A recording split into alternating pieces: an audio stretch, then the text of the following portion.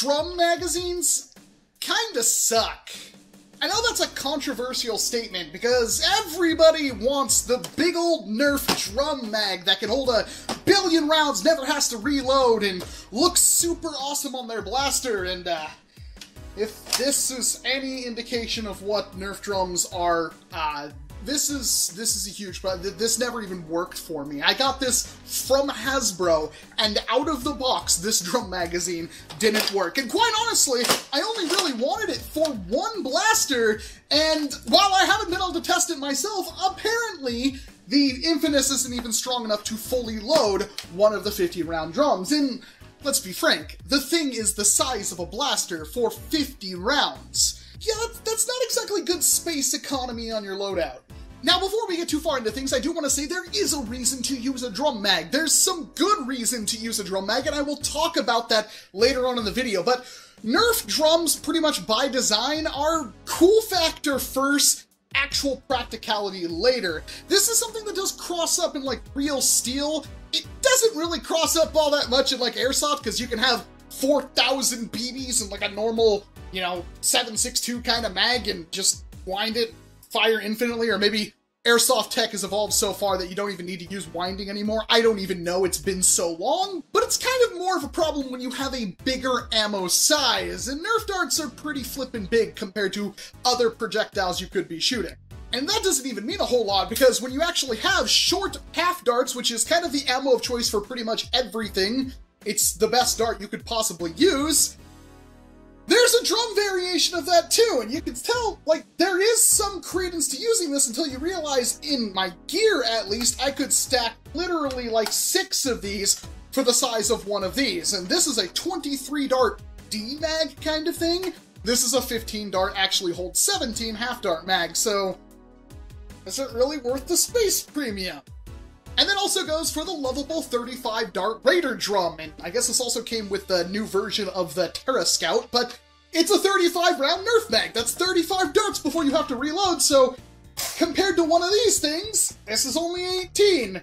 This is 35. This is clearly superior, right? Except for if I do something like this, all of a sudden, 35, 36 yeah, you're starting, like, sure, this is in, you know, without reloading, but reloading, honestly, 18 darts and then reloading and having another, that is some downtime, but it's really not enough to make that much of a difference, so is it worth having more darts on you or less darts without reloading? I guess there's going to be a case for both of them, and that's something you should consider because every single war is going to be different for you, but we're still kind of failing to see the point of these kinds of applications in this hobby. That doesn't mean to say that I wouldn't run a drum if it actually worked. If the 50 round drum worked flawlessly for me, and honestly I'd really like to get one that worked really well and upgrade an Infinus so it actually had the strength to load all 50 darts no problem.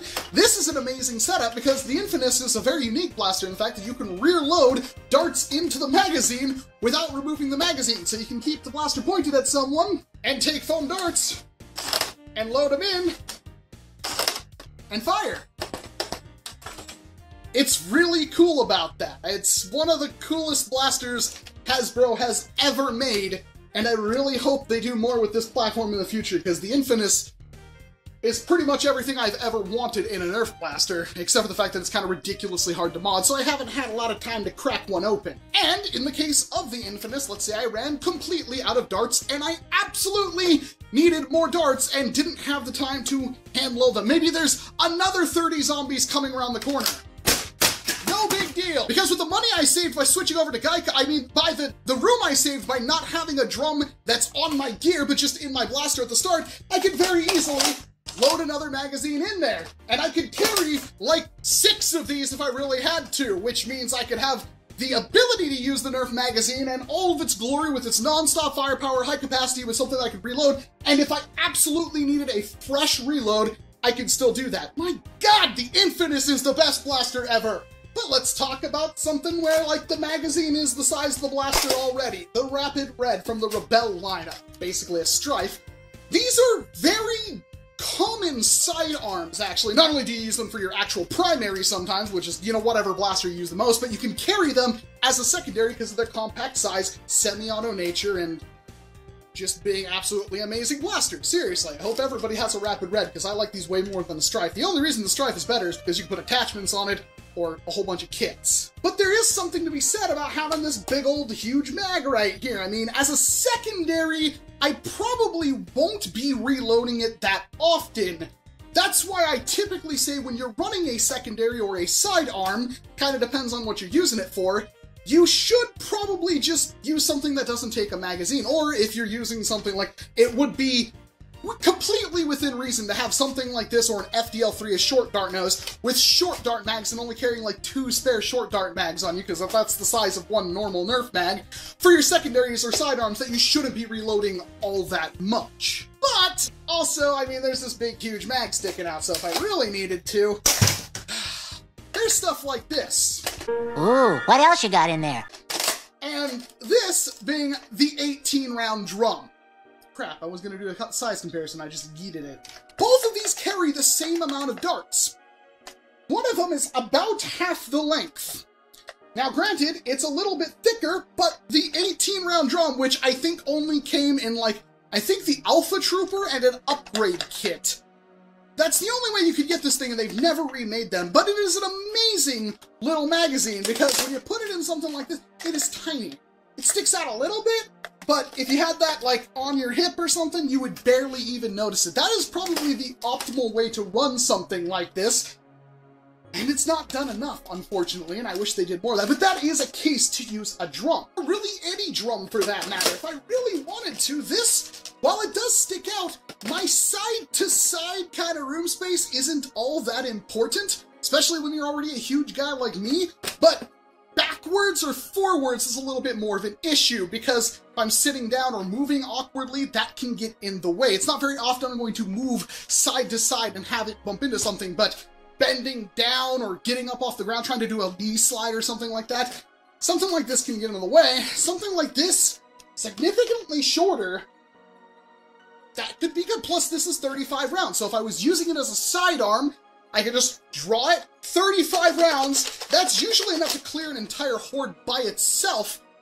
Should give me hopefully enough time to do a pretty good retreat as opposed to 18 rounds, which is still a colossal amount, but 35 is definitely a bit more, and I shouldn't want to have to reload something like this, and really there's not much of a point to have oh, I've got a rapid strike with all of my mags, and then this thing with mags, and then be using this when I could just be reloading the rapid strike unless the rapid strike went down. And in that case, you have way bigger problems than what magazine you're using. And that definitely applies to something like this FDL. It's not very bad with like one of the 15, 17 round standard Talon mags in it, but if I really wanted to, that is a lot, again, it sticks out the side, but it's a lot less pointy outy that way. So if I had this thing on my hip or something like that, well, I, I don't have the big long stick sticking out the back, I just have something on the side, but if I wasn't actively reloading this thing, that is a few rounds extra capacity that could potentially save me, and I could just yeet this and draw one of those other magazines, which is much smaller to fit on my gear, and worry about this thing later, or, you know, if I do get tagged out, I just go pick it up, mark it with your name and stuff like that. It's kind of hard to pick one of those up and hide into your gear and steal it or something like that, especially if it has somebody's name painted on it or something. And let's say you weren't using it for HVZ and the like. There's still some reason to use a drum mag. I mean, if it's your opening blaster, like you just reloaded it, you're starting off a fresh match, you can start with the drum mag. Shoot all you want. If you have a dump patch for it, perfectly. If not, drop it on the ground. Nobody really cares. Then reload with your standard 18 rounders and continue to fight that way. That still gives you an impressive amount of firepower as opposed to having just an 18 round stick in there and then switching to more 18 round sticks. I mean, that's just efficiency in your build. But obviously, these things are not efficient to carry on you as opposed to something like this, so carrying extra drums on you isn't exactly all that smart. So, in conclusion, when should you be using any kind of big Nerf drum magazine? Well, if it's as a secondary or a sidearm, you have it on your hip or something like that, perfect time because you probably won't be using that blaster very much. And if you really need to, pro tip right here, you could just pull the drum mag out of that and slap it into your primary if your primary is also using a magazine. That's a more efficient way to have it on you than pretty much any other way. Or have it at the start of the fight just have it already in your blaster at the start of a round or the start of the HVZ, whatever you need to do. Use it up, ditch it, and switch to your 18 round mags. You just have a whole bunch of these. I know my chest rig holds at least 10 of them, pretty much no problem whatsoever. It can't even hold one of these, so very, very important to actually utilize these as much as you can. Which is part of the reason something like the uh, just pretend this is a Magnum Super Drum because I don't know where mine is. You can technically hot swap these things, and you can technically hold more of these since it's not like a spring drum magazine thing, it's more of a cylinder.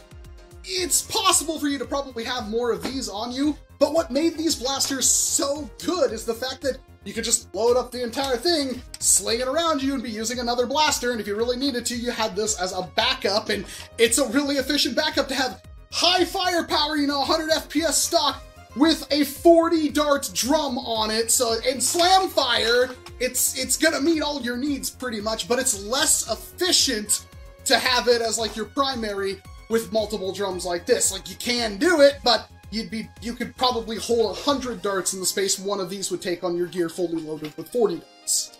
But as a last little surprise, you know what's way better than either option? No, it's not a rival hopper, although it's a that's a pretty typical response. And no, it's not even the dart hoppers that you see in a couple of the dart zone blasters like the Destructor or the Command Fire. It's a chain. This is a 63 dart chain. You will notice it's actually technically smaller than the 35 round drum. And the best part about a chain is I can pretty much stack this however I want. I can even just sling it around my body if I want and keep it out of the way. While something like this, I pretty much have to have a very specialized pouch for. So this, if I needed to have pretty much unending fire, would be the best way to go about it, which is one of the reasons why I'm really excited to start on a hopefully complete overhaul of the light command, because I I had a video where I was going to talk about this in particular, but my light command died and I just never fixed it. But for unending fire and, of course, ease of reload, chains are where it's at. I really wish this, like, I gotta try to get this thing to work somehow. I've, I've spent several hours on it. I really hope you enjoyed this video. This is one of those 2 a.m. kind of spontaneous videos that I just get up and start doing because seems like a good idea at the time, and it's you know, when I have a fresh idea, I might as well go about it. And thank you very much to the patrons who support this channel. I didn't really get a chance to show them off all that much on this video either. thank you very much to those of you that still tolerate me. And if you do like the video, hit the like button, hit the subscribe button. There will be more, more Nerf content, more than you possibly ever want, coming your way very, very soon. Otherwise, I'm Walcom S7. Thank you so very, very much for watching this video, and of course, I hope to see you in an entirely different one. I don't. I don't have any ammo. It's, it, that's an empty threat. You gotta up, up,